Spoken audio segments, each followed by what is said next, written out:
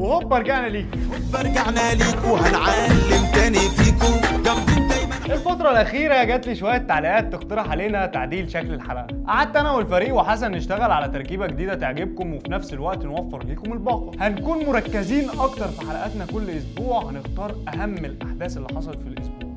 وهنجيب لكم شوية تفاصيل ليها من الشمخ الجواني. الأسبوع ده مثلا وقع اختيارنا على خمس أحداث فرضوا نفسهم بقوتهم ولفتوا نظرنا وإحنا بنجهز الحلقة. انترو ونرجع على تفاصيل أهم خمس أحداث حصلوا الأسبوع ده. وعلى ما أرجع لك إيدك على ال like وال share وال subscribe.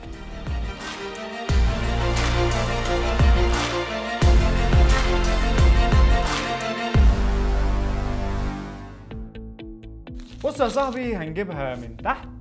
لفوق معانا في المركز الخامس في ترتيب الأهمية لاحداث الأسبوع ده هو تعادل ليفربول مع تشيلسي بنتيجة 1-1 وطبعا صلاح أنقذ الفريق من الخسارة الأولى في الدوري وأنقذ كل واحد حطه كابتن في ال Fantasy الصراحة. بعد ما كان الماتش رايح في طريق لتشيلسي لكن ضربة الجزاء اللي اتحسبت عليهم واتطرد بسببها المدافع جيمس أهدت ليفربول جول التعادل بقدم فخر العرب. أما في المركز الرابع هو مش خبر قوي هو تقدر تعتبره فضفضة واحد عينيه وجعته من أداء مدرب توتنهام. تخيل يا مؤمن نونو سانتو للماتش الثالث على التوالي يفوز بنفس النتيجة بنفس ركنة الأتوبيس بنفس التكتيك ويكسب الأسبوع ده واتفورد 1-0 وطبعا واحد زي حالاتي كان باع سون عشان يجيب بن رحمة.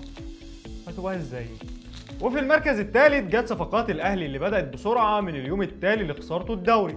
تقريبا كل نص ساعة كان في إعلان عن صفقة جديدة ولسان حال الجماهير. كمان واحدة والنبي يا ريس وطبعا كان منهم كريم فؤاد وحسام حسن وبيرسي تاو وميكي سوني وندخل على المركز الثاني اللي سيطرت عليه المشاركة الأولى التاريخية لميسي مع باريس سان جيرمان. كبديل في الدقيقة 65 مكان نيمار. ويا ريت جماهير برشلونة تعود عينيها من الماتشات الجاية. هتشوف ميسي أساسي جنبه نيمار ومبابي واللي خلاص مش رايح مدريد الموسم ده. يعني الموسم اللي جاي باريس دمار شامل تعالى لي بقى على المركز الأول واللي خطفوا خبر عودة الدون للدوري الإنجليزي من جديد بعد غياب 12 سنة. اليونايتد قدر يرجع رونالدو بعد قطعه للطريق على السيتي اللي كان بيتفاوض معاه على ضمه وكان قريب جدا. لولا تدخل السير أليكس اللي رفع السماعة قال له بتعمل إيه؟ جامعة عينيه مغرغرة كده اهو بالدموع وقام جاي له أنا عاوز أرجع النادي يا الحاج أليكس. رد عليه وقال له بيتك مفتوح يا ولد تنور في أي وقت. وبالفعل نور وحطم رقم قياسي جديد الأسبوع ده وبقى أكتر لاعب في العالم تسجيلا للأهداف مع المنتخبات برصيد 111 هدف. كده نبقى خلصنا مراكزنا للأسبوع ده. تعالوا ندخل على أكتر خبر محزن وأكتر خبر مفرح حصلوا خلال الأيام اللي فاتت. خلينا نبدأ بالنكد الأول واللي للأسف بإمضاء مصري. وهو مشهد تقديم درع الدوري المصري لنادي الزمالك في ماتش البنك الأهلي. سوء تنظيم من الكل اتحاد واستاد ولاعيبة. خرج الموضوع بشكل أسوأ مما تتخيل مش بس كده كابتن الفريق الفايز خرج عن شعوره هو ورئيس الاتحاد وقفشوا على بعض. في مشهد بيحلف 100 يمين إن لسه بدري قوي علينا على الاحترافية. أما بقى أكتر حدث كوميدي حصل الأسبوع ده هو ضحكنا آه. بس إحنا اعتبرناه نوع من أنواع الكوميديا الغامقة شوية.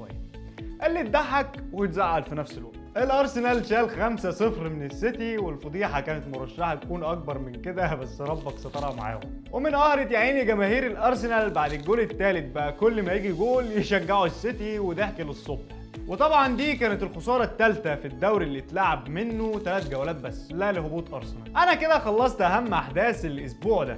هختم ليكم بجولين ينسونا جراحنا اللي بتزيد مع كابتن باتريولا مع المنتخب. الجول الأول هو جول كي هافرتز مع تشيلسي ضد ليفربول واللي كان في الدقيقة 22 من كورنر. ابن اللعيبة لعبها بدماغه من القايم القريب وتدخل في البعيدة وأليسون ما يعرفش يعمل معاها أي حاجة. والجول الثاني هو جول كارفخال مع ريال مدريد ضد ريال بيتيس في الدقيقة 61 لما البنزو رفع العرضية الجميلة عشان كارفخال يحط هدف الفوز الوحيد في الماتش. على الطاير بوش ريب وبكده تنتهي حلقة من حلقات بعد التسعين ونشوفكم في حلقات كتير الفترة الجاية.